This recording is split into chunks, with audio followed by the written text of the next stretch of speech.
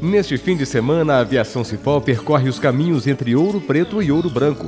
Venha conhecer lindas paisagens, matas, rios e pontes da Estrada Real nessas cidades tão ricas em história.